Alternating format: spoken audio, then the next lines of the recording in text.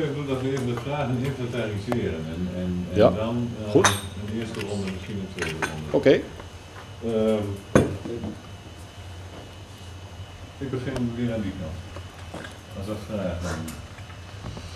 Ja, ik kan me voorstellen dat je er meer dan één hebt. Ehm, laat- eh, Oké, laten we het even zo doen. Ik kan me voorstellen dat er vragen zijn op Oh, detailniveau van lijnen, eh, zeg maar vervoerkundige vragen.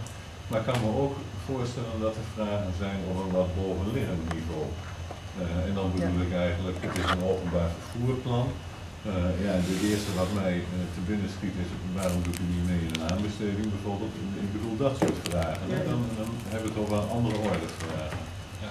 Dus zullen we zo proberen te onderscheiden in ehm, zeg maar openbaar vervoer concessievragen en vervoerkundige vragen en de inhoud van het systeem Ja. enzovoort. Als we, als we die scheiding eens proberen, en dan begin ik met de eerste ronde, de bovenliggende vragen op het niveau van eh aanbestedingen enzovoort. En daar is wat op in te doen. Vanaf dat, eh, Ja. nou, eh, in het verhaal eh, schetst u van eh, de Dolmoes zou zeg maar, naast de bestaande taxi en, eh, en bus moeten komen. Streekvervoer. Streekvervoer. Ja. In de stad niet, want ik lees in, tenminste in het eerder plan, ik weet niet of het nu al hetzelfde is, van dat de Dolmoes bedoeld is als snelle verbinding tussen bepaalde locaties, zeg maar. Maar dat voor de echte ontsluiting van bepaalde woonwijken eh, de normale stadsbus nog een rol zou moeten spelen. Omdat je anders te maken zou krijgen met hele grote halteafstanden. Hè? Van de mensen wonen niet allemaal in de buurt van een bepaald winkelcentrum. Nee, toch ergens uit een wijk komen. Dat is dus iets wat, eh, wat ik bijvoorbeeld samen eh, met de gemeente of, of met de provincie dan zou, zou willen overleggen. Kijk, om, eh, eigenlijk zou je het zo moeten zien dat die grote bussen van connectie gewoon moeten verdwijnen uit het stadsbeeld. Dus dat je alleen maar de kleine busjes overhoudt. En dan moeten we gewoon bekijken van wat is interessant om die busjes ook op andere plekken te laten rijden. Want wat ik nu gedaan heb, is gewoon eigenlijk de winkelcentra's en de belangrijke Ja, openbare de, hoofd, de hoofdlocatie. uh, ja, maar het zou natuurlijk best kunnen dat je, dat je in wijken bijvoorbeeld, waar verder geen bus komt, dat je daar ook behoefte hebt om een busje te laten rijden. Dat kan natuurlijk ook. Ja, want in principe is het natuurlijk zo, mensen hè, willen vanuit hun woning naar ergens naartoe in de Ja. stad. Hè? Ja. Dus om, om snel, hè, snel te kunnen reizen, willen ze directe toegang tot het Ja. systeem Ja. hebben. Maar we zouden natuurlijk in principe, eh, er is ook al voorgesteld door de Leeuwen van, joh, kun je niet bijvoorbeeld met één lijn aanvangen, dat we kunnen zien of dat werkt. Nou, daar kan ik je vooruit van zeggen, dat werkt niet. Je moet gewoon een compleet systeem hebben. En dat complete systeem kun je dan vervolgens uit gaan bouwen. Ja, als, het, als er werkelijk veel behoefte is en mensen komen dan vanzelf wel van, ja maar luister eens, bij ons in de wijk komt die niet. Kan dat ook niet? Nou, dat kunnen we onderzoeken, dat kunnen we bekijken. Kijken hoeveel passagiers je daar vandaan haalt. Dan zou je daar een busje kunnen laten lopen, misschien met een iets mindere frequentie. Ja, omdat het aanbod misschien niet zo groot is, maar het is uit te breiden. Nou, Als ik uw antwoord eh, mag samenvatten, dan zegt Ja. u van eh, het domussysteem, ja, of het domusvervoer is een openbaar vervoerssysteem Ja. voor het stadsvervoer. Ja. En, eh, en of je dat nou als, als een kleine stad of een grote stad of je breidt het uit, dat zijn vervolgens Ja, en de dorpskernen eromheen natuurlijk. dorpskernen, Maar dorpsstraten. echt een streekvervoer, dat als je bijvoorbeeld van Deventer naar wilt, nou ja, dan moet je gewoon een streekvervoer. Nee, maar pu- puur binnen de stad al bekeken. Hè? Ja. Zeg maar op zich zit je natuurlijk nog allemaal vooral te zoeken naar het optimum tussen de ontsluiting van, van, van, van wijken. Hè? Mensen Ja. die mogelijk bij de klanten komen. Ja. En zo snel mogelijk naar de bestemming. Exact. En dus je zit altijd te zoeken naar die mix van, van snel en, eh, en ontsluiting. maar. En dat is ook de makker van, van de lijnvoering over het algemeen in een stad. Hè? Waarbij je dan eigenlijk vaak een soort compromis zoekt. Een betaalbaar compromis. Ja. En nu in dit plan hè, is het eigenlijk maar de, de krenten in de pap, hè, de snelle verbindingen, hè, die in ieder geval neergezet worden. En die Ja. zegt van ja, juist die uitbreiding eh, naar de klant toe, Ja. dat is dan iets wat er nog weer bij komt. Ja, uiteindelijk wel. Hè, want anders moeten ze bij wijze van spreken 500 meter of 600 meter lopen voor je ergens bent, voor je. Alphons kunt Ja. Ja. Dat is toch nog een uh, maanko. Ja. Nou, het is niet zozeer een manco. Het is, het is, kijk, het is iets waar natuurlijk best wel aan gedacht is. Maar eh, ik denk dat je dat in het begin niet helemaal mee kunt nemen. Want je kunt niet inschatten hoe, hoe dat zal lopen, hoe dat zich gaat ontwikkelen. Nou, we komen ook een beetje wel met mijn basisgevoel waar u mee begon. Hè. Je hebt het in het buitenland gezien waar het werkt. Hè. Ja. En, en dan heb ik toch het gevoel van, als ik, tenminste mijn ervaring, het is zo, zo zie van je hebt bepaalde concentraties van, van locatie van mensen wonen, hè, waar mensen naartoe moeten. daar is het natuurlijk ideaal. Hè? Snel, uh, hoogfrequent. Ja. En op het moment in onze situatie waar, waar de ja, steden toch wat minder dicht, echt heel dicht uh, bebouwd zijn, waar het toch wat verspreiding zit, is het toch moeilijker, denk ik.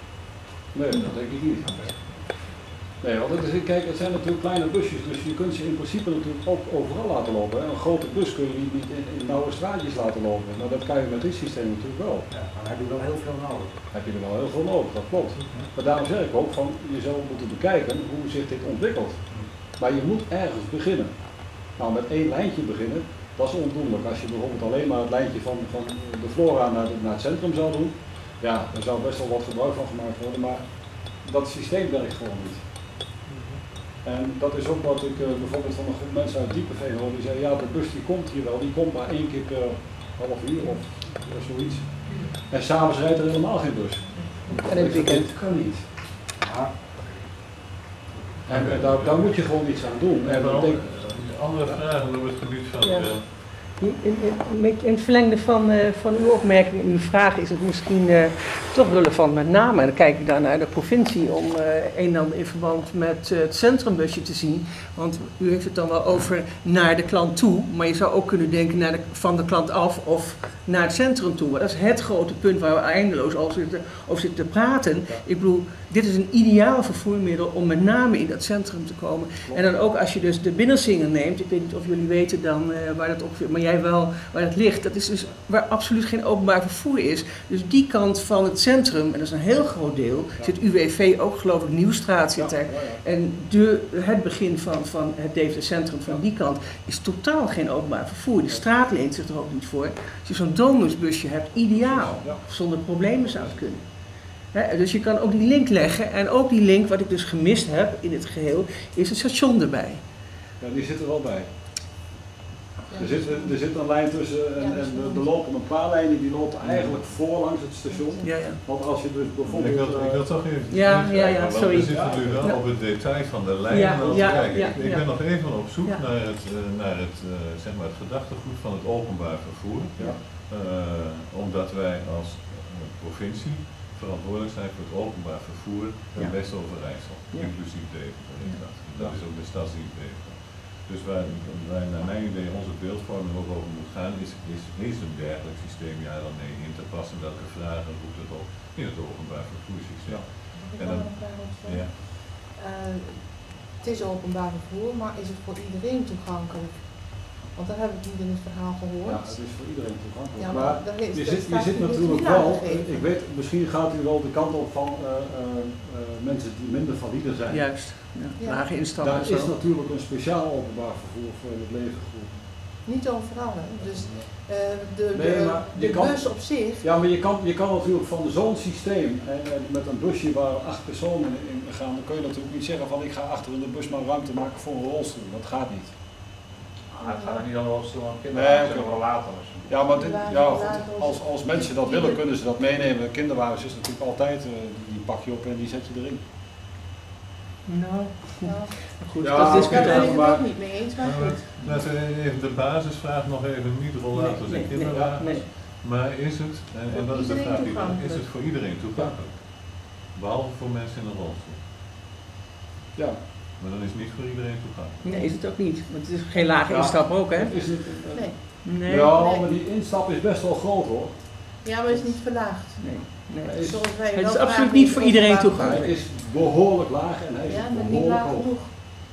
Zoals de bussen wel moeten ingericht moeten zijn. Ja, dat is natuurlijk wel een beetje in het verlengde van, van de landelijke richtlijn. Ja. Ja. toegankelijkheid. Ja. Ja. Maar, Ja. maar dat is ook iets wat uh, bijvoorbeeld Mercedes-Benz en, en, en Volkswagen, die zijn er natuurlijk heel goed in. En die hebben dus ook aangegeven dat die bussen die moeten echt speciaal gebouwd worden. Dat is ook het. Uh, maar goed, zo'n uitschuifplaatje is nog te maken. Mercedes heeft van die bussen nog. Ja. Ook die kleine Ja, dat zeg ik, dat zeg ik. ook de infrastructuur nodig zijn voor die haltes Ja. Ja, maar Ja. Mercedes. Ja. Ik rijd met die Mercedes. Ja, ja. ja. Maar dat, dat zou wel betekenen een flinke ingreep in het doelsysteem zelf. Want de hand opsteken, als er geen handels zijn, dan zijn de handels ook niet verhoogd. Ja. Ik zit, zit wat dat betreft even met onze uitstraling van het OV, zoals wij het OV zien, is dat het ook heel duidelijk aanwezig is natuurlijk. Iedereen ziet die bussen voorbij rijden, die weet dat het OV is, die weet waar de halte is. desondanks merken wij ook in onze marktonderzoek dat we recentelijk gedaan hebben, is dat eh, het voor mensen desondanks een lastig systeem is. Als je er nieuw inkomt, van hoe werkt dat? Ja. En dan heb ik bij dit systeem aan de ene kant van nou, het is makkelijker, je hoeft geen dienstregeling eh, uit je hoofd te leren. Aan de andere kant denk ik, je ziet geen haltes, die busjes vallen minder op. Weten mensen Nou, dat het OV is? ja, Dat- die vallen, is kijk, als je- eh, Als je vraag. je zou verdiepen in, in, in eh, bijvoorbeeld in vakantiegangers die dus schrijven hoe het openbaar vervoer is in bijvoorbeeld Turkije of Griekenland of noem al die landen maar op, dan merk je dus constant dat mensen alleen maar zeggen van goh, als we dat nou toch eens in Nederland hadden. Ik denk dat we ons niet blind moeten gaan staren op, op allerlei eh, dingen en, en, en, en ingewikkelde kunstgrepen die we nu hebben om passagiers te vervoeren. Want waar het gewoon om draait, en dat willen de mensen ook, is de snelheid en de tijd. Ja, maar goed. Als je, als je nu ziet, hè, dat Connection heeft nu dat, dat, dat openbaar vervoer in Deventer. Ja. Nou, we zijn in januari naar een kwartierdienst gegaan. Het aantal passagiers is niet verhoogd. Ja, Nee, ja echt. Reken het cijfers- maar eens uit. Nou, dat hebben we gedaan natuurlijk. Reken het maar eens Ja. uit. Dat is wel verhoogd. Is Maar niet, het niet is- drastisch, hè? Nee. 20% eh, reizigers. Ja, omdat het een kwartierdienst is geworden. Maar als je dat in verhouding terug gaat brengen tot hetgeen wat het was, dus als je de verhoudingen gaat bekijken, is het niet verhoogd. Nee, als u... Nee, en dan- bedoelt u het aantal eh, bus, eh, passagiers per bus? Juist. Ja, Ja, nee, oké. Nee, maar goed, in dit geval, kijk, bij OV werkt het altijd zo, als je het eh, economisch gaat doorrekenen, moet je nooit wat doen. Ja. nee, maar goed. U bent toch met me eens dat dat hele openbaar vervoer gebeuren verschrikkelijk veel geld kost.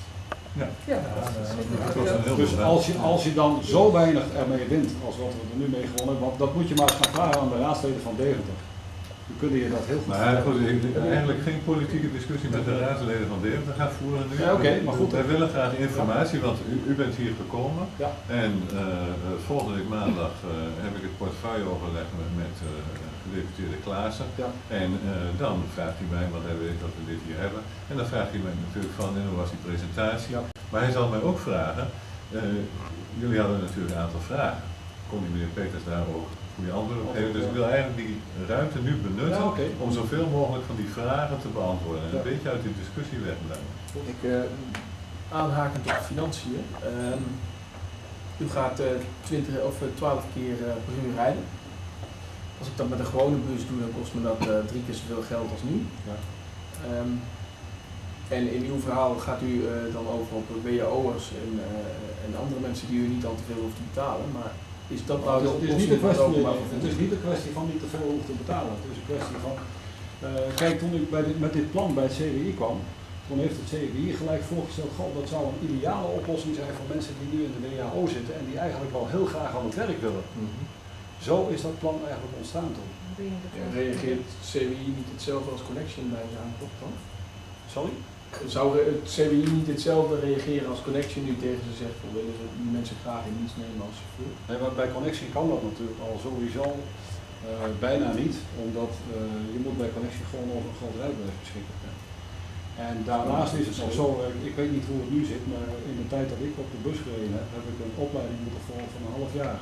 En Maar dat levert niet ook een, een kwaliteit op natuurlijk bij de chauffeurs waar je wat aan hebt. Op het moment leggen we natuurlijk veel Nou. nadruk ook op ja, Nou, klantvriendelijkheid. Ja. dat mensen weten om te Ja. gaan met verschillende doelgroepen in de bus. Sociale veiligheid is een item waar chauffeurs... Maar ik meen me te herinneren dat er eh, projecten zijn in het land waar via CWI eh, buschauffeurs eh, in eerste instantie daar op die kleine dingetjes gaan en dan Ja. een, een, een connection of een Arriva of wat dan ook allemaal de, de opleiding overnemen en dus de volwaardig chauffeur kunnen worden hè, in dat opzicht. Ja.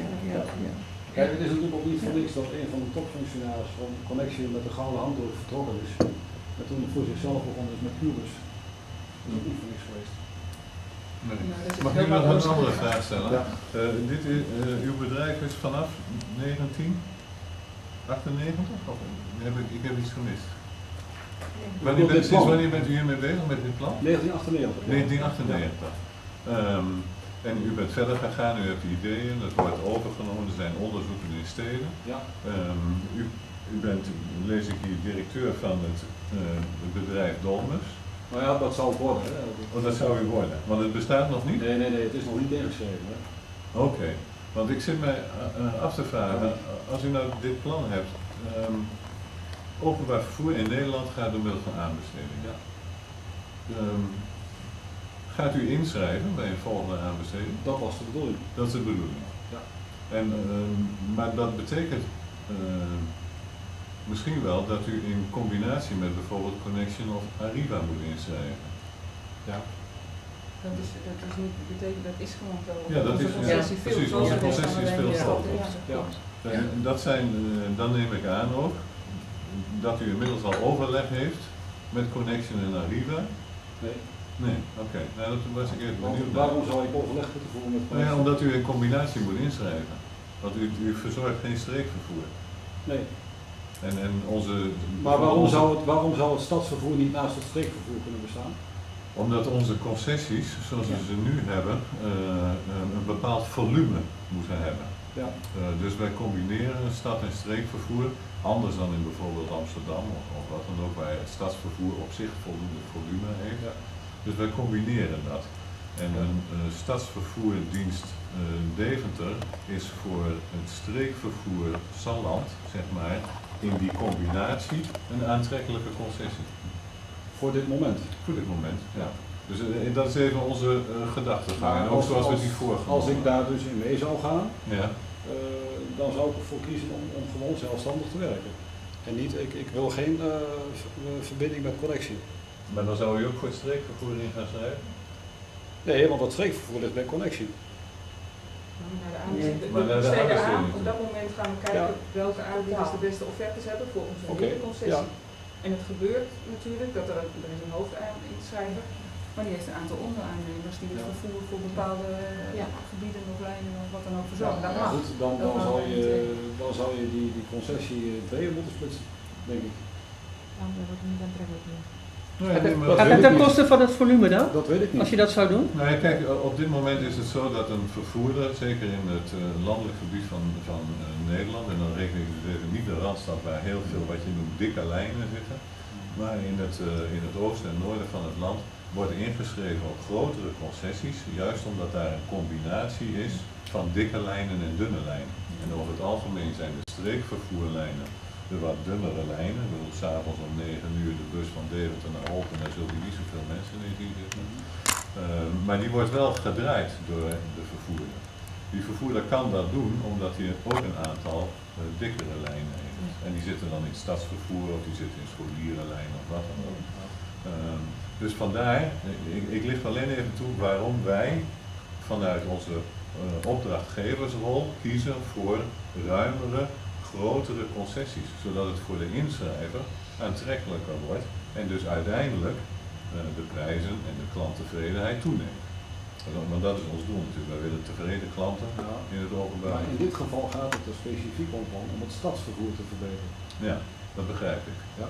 Maar zou En, en als je dus in andere steden gaat kijken, en neem als voorbeeld Heerenveen of Os, waar dit dus ook werkt, dan denk ik van dat zijn ook kleine steden. Die hebben dat ook niet op die manier. Ja, dat is, dat is een andere vraag die ik inderdaad had. Want u zegt eh eh, Os, Amsterdam, Leiden hoorde ik allemaal noemen. Daar draait de Dolmus Ja, als stadsvervoer. als stadsvervoer. ja. Kunnen wij daar eh, eh, daar Even- even rapportages en zo van zien? Want die hebt u of? Ja, ik heb ze niet, maar ze staan op internet. Oké. Kijk, ik pluk natuurlijk ook hier en daar van, van dingen van internet af en, en eh, je blijft dat gewoon volgen. En dat zijn ook steden die op een gegeven moment, dus eh, toen ze ermee begonnen, dus toen, toen ze informatie wilden hebben, gewoon bij mij aangeklopt hebben van we hebben dit gevonden op internet, mogen we dat gebruiken? En eh, bent u bekend, is dat, eh, is dat dan eh, stadsvervoer of is dat bijvoorbeeld Nee, het is- bedrijfsvervoer? Nee, nee, nee, het is stadsvervoer. Stadsvervoer? Wordt dat gefinancierd door de gemeente of provinciaal? Ehm, ja, ik weet natuurlijk niet hoe precies die concessies iedere keer bij de provincie liggen. Of dat eh, overal provinciaal geregeld is of dat dat ook nog op gemeentelijk eh, Ja, want er zit, daar zit verschil in, hè? Dat we Jawel. eh, bij de gemeente... De- de- eh, dat gaan wij kijken of we daar Maar dat is, dat is natuurlijk ook, kijk, eh, de, de raadsleden in, in Deventer zeggen bijvoorbeeld van ja, wij zouden echt graag willen dat het, het vervoer weer terugkwam bij de gemeente en niet bij de provincie. Ze zijn er dus kennelijk niet tevreden mee. Nou ja, goed, dat is een politiek debat. Ja, Ja, oké. dat is een ander vraag, van- natuurlijk, ja. Ehm, ehm, mag ik u nog eens vragen? Ik kijk ook een beetje naar de tijd, hè? we hebben nog een minuut of vijf. Ehm, wat is nu uw vraag aan ons Ja. als opdrachtgever voor het openbaar vervoer in Overijssel? Nou, ik zou natuurlijk heel graag zien dat dit realiteit wordt. Dat snap ik. En dat hier dus een, een, een- een bedrijf uit ontstaat wat ervoor kan zorgen dat we echt een goed openbaar vervoerssysteem hebben in de gemeente Deventer. Ja, nou, Dat zonder is- even in discussie te gaan over wat goed openbaar vervoer is, want daar, kun je, daar kunnen we met elkaar nog heel lang over doorpraten. Ja, maar, Maar als we dat nou nastreven met elkaar, goed openbaar vervoer, wat is dan uw vraag aan ons? Ehm, ja, de vraag is natuurlijk van, eh, kijk, ik weet dat er dus op korte termijn die, die concessie vernieuwd gaat worden. En daar zou ik dus graag met dit hele plan in mee willen draaien. In feite om onze concessieverlening zodanig aan te passen dat dit plan een, aan de voorwaarden zou gaan voldoen als u zou inschrijven. Ja. Want op dit moment, zoals wij nu de aanbestedingen in elkaar eh, aan het zetten zijn, zou dit niet in aanmerking kunnen komen. Nee, precies. Nou ja, tenzij u eh, en, en uw bedrijf zich eh, registreren als, als eh, vervoerbedrijf. Ja, dat, dat zou kunnen. Maar dan nog zijn er, zijn er dingen die wij eh, moment in het beleid hebben staan. Of Ja. Ja, maar dat, dat registreren is natuurlijk geen enkel probleem. Je Ja. morgen aan de Kamer van Koophandel gaat, je ingeschreven en is klaar. Ja, maar, maar dat Ja, bedoel ik wel. dat- zijn volgens mij wel voor, dat zijn wettelijke voorwaarden. Ja. En daarnaast zijn er een aantal richtlijnen die ook tussen decentrale overheden en overheid zijn afgesproken. En dat zijn bijvoorbeeld doelstellingen over de toegankelijkheid. Ja. Wij hebben ons als opdrachtgever, eh het bent nog keert, wij streven die toegankelijkheid na. Ja, Oké, maar dan, dan, vraag ik me dus af waarom het in die andere steden dan wel kan en hier niet. Nou ja, dat, dat zullen we ook zeker nazoeken. Maar dan heb je tegelijkertijd over de verbetering van het openbaar vervoer in de gemeente Deventer. Ja, Want dat is het punt, en dat zou de provincie wel moeten aanspreken, dat is het algemene punt, dat dat beter kan. ja. Er zijn bepaalde plekken die niet te bereiken zijn en er zijn eh, eh, eh, eh, verbindingen die, Kijk. omdat er naar verhouding minder gebruikt Dat zijn, we on- dat zijn we onmiddellijk eens en dat zijn we onmiddellijk eens met En- iedereen. Het openbaar vervoer in dit land kan vele malen Mhm. beter. ja, want het is. Alleen de afweging die we als overheid natuurlijk ook moeten maken is tegen welke kosten realiseren we Ja. dat. Ja, maar het is natuurlijk wel zo dat in de visie van de gemeente Deventer bijvoorbeeld staat in, er staat letterlijk in dat het connectie dus niet gelukt is om meer personen in de bus te krijgen. Het staat er letterlijk in. Goed af, Ja, de goed, gemeente Deventer. Dat is voor de gemeente Deventer. Ja, nee, ja. Hallo. ja, nee, dat Kom. is zo. Dus de provincie heeft een andere mening als de gemeente Deventer. Daar komt het dan op neer. Ja, Het gaat- het gaat over de gemeente toen met de Deventer. gemeente Deventer over het openbaar Ja. vervoer in de gemeente Deventer. Ja, daar zit Ja. verschil in. Kijk, belanghebbende, belanghebbende partijen zullen over het algemeen meer wensen hebben dan eh, degene die het geld uh, beheren. Nou, daarom noemde ik verbetering van het openbaar vervoer. Want dat is, dat is unaniem. We hebben allemaal dezelfde mening. En dat kan ook in Deventer beter. En de bereikbaarheid kan beter. Dus als je, als je daar nou op in gaat steken. Nou, dat, ik, denk dat we daar op dit moment hebben we daarop ingestoken. We hebben inmiddels een kwartierdienst in. Deventer gerealiseerd. Eh, de eerste cijfers laten daarvan zien dat dat tot een reizigersgroei eh, Ja. eh, leidt. Ja. En natuurlijk is ons streven beter openbaar vervoer. We Ja. hebben niet voor niks hier binnen en heeft het college zich hard gemaakt om in de discussie met de Staten een, een verbeterd plan, een OV-tactiek vast te stellen. Daar zitten elementen in en ik ben ook zeer benieuwd naar zeg maar die onderzoeken en hoe dat dan in andere gemeenten loopt. Dus daar zullen we zeker naar kijken om eh, onze gedeputeerden terug te koppelen van eh, wat hebben we gehoord aan plannen. Maar ik hoorde u net ook over de financiën praten. Eh, ik denk dat we met z'n allen kunnen constateren dat dit vele malen aantrekkelijker is en goedkoper is als wat connectie. Nou, dat, dat kan ik helaas niet concluderen, want u heeft een aantal gegevens die met de accountants zijn doorgerekend Ja. En vastgelegd ergens in een bank. Dus daar heb ik geen enkel inzicht in. U Dus heeft kan- een financieel rapport van gekregen. Nou, maar bijvoorbeeld in, in die 76% van de Ja. mensen die de dolmens wel interessant vinden en Ja. gaat dan uit van 50% bezettingsgraad. Ja. Dus ik die andere- 76% dat geloof ik wel. Maar er zitten mensen bij zitten die denken, nou, die ene keer per jaar daar en daar moet zijn, kan ik misschien de dolmens wel nemen. Er zitten mensen, als je mensen vraagt van wat vindt u van het OV en wilt u daar wel eens gebruik van maken, krijg je een enorme groep mensen die zeggen, ja, dat wil ik wel eens. En dat klopt ook, dat doen ze wel eens, maar niet op dagelijkse basis. Dus ik denk dat die 50% bezettingsgraad heel hoog is. Denk het niet. nou, als- Ja. Ja, maar dat heeft, nou, op zich heeft het ook niks te maken met, eh, nou, met twee, twee percentages zijn verschillende eenheden. Het is 76% van de bevolking die wat vindt, zeg maar. En het is 50% van de bezettingsgraad, van de, van de beschikbare plaatsen, hè, die, u- die u zegt. Dus op zich zijn het hele andere eenheden. Dus dat heeft op zich die twee percentages niks met elkaar te maken, terwijl u, u ze met elkaar in verband brengt eigenlijk. Nou oké, je het ook zien. Ja. Je kunt het van twee kanten bekijken natuurlijk. Nou ja, goed. Maar Maar het, kijk- het punt is gewoon van, je wilt gewoon realistisch. Feit, feit is gewoon dat waar ter wereld je op kijkt naar dit systeem, Ja. het gewoon een ontzettend goed systeem is. Ja. En dan zeg ik op mijn beurt van wie zijn wij dan om te zeggen van dit systeem deugt niet. Nou, ook dat vind ik een onderwerp voor discussie. Eh, want natuurlijk, dat systeem is bekend, dat draait. Eh, ik ken het systeem. Kijk, ik ben, ik ben, Maar of dat nou het systeem is wat we hier in Nederland eh, willen, omdat wij in Nederland kijken naar de verhouding tussen kosten en opbrengsten. ja, En we kijken naar een aantal eisen. En dat zit onder andere in de toegankelijkheid van het openbaar. ik ben ondernemer. Ik heb altijd al geconcludeerd hier in Nederland dat we hier veel te veel wetjes en regeltjes hebben. En iedereen roept altijd maar van nemen als dit en nemen als dat. Ja, maar als we dit nou zo doen en als we dat nou, uiteindelijk gebeurt er niks. Het kost allemaal handenvol met geld. Ja. Dan denk ik van, nou kom je eindelijk eens een keer met een goed en een simpel systeem. Ja. Maar ik, ben ook helemaal niet met u de discussie aangaan Kijk, over de heeft- en de regelgeving in Nederland. in Ik vind in het het een heel in inspirerend, ik vind het een heel inspirerend idee. In de presentatie die u van mij gekregen heeft, daar zit achterin zit een, een compleet rapport van Easy Start. Ja. Dat moet u al bekend zijn. Daar zit ook de hele financiering in Ja. van het hele plan. Nou, dan denk ik dat we gewoon kunnen concluderen dat dit vele malen goedkoper is als connectie. De conclusie kan ik Nee, oké, dat, is, dat is aan u. U als ondernemer snap ik dat u dat wel eh, Ja. eh, kunt eh, trekken. Eh, wij kunnen dat nog niet als verantwoordelijke voor het openbaar vervoer, daar gaat het eh, ook om. Eh, ik vind het idee in ieder geval heel inspirerend. Zeker de vergelijkingen, de plaatjes die u laat zien over die systemen, daar waar ter wereld ze dan ook draaien. Ehm, en we zullen een terugkoppeling geven aan onze portefeuillehouder. Dat is een van de doelstellingen eh, hier. We zullen natuurlijk ook, eh, volgens mij, ik, weet niet of er in het er ook al, al over gesproken is, maar er zal er ook. Nee, want dit is nieuw voor ons. Oké, nou dan zal het aan de orde komen en daar is een gedachtegang over eh, te laten. Ja, dan eh, komt sowieso aan de orde dat het toegankelijk moet zijn. Eh, ja, dat, dat Dat zal een van de punten van ook of eh, heel Ja. duidelijk zijn. Dat, dat kan ik me En voorstellen. maar goed, toegang, Ik, zal, de nou, ik wil even afsluiten, want ik moet, ik, moet, ik moet u in ieder geval gaan verlaten. En als ik daarna nog doorpraat, dan vind ik dat eh, heel prima. Ehm, er zal denk ik ook ons- contact ontstaan tussen gedeputeerde Klaas en de wethouder werkhouder in Deventer. Ja. Dat dit geweest is, die delen dat soort dingen met elkaar. Ehm, en wat is dan vervolgens een afspraak? Ik vind dat wij ons ook even tijd moeten gunnen om... mijn, mijn plan. Maar ik wou, Ja.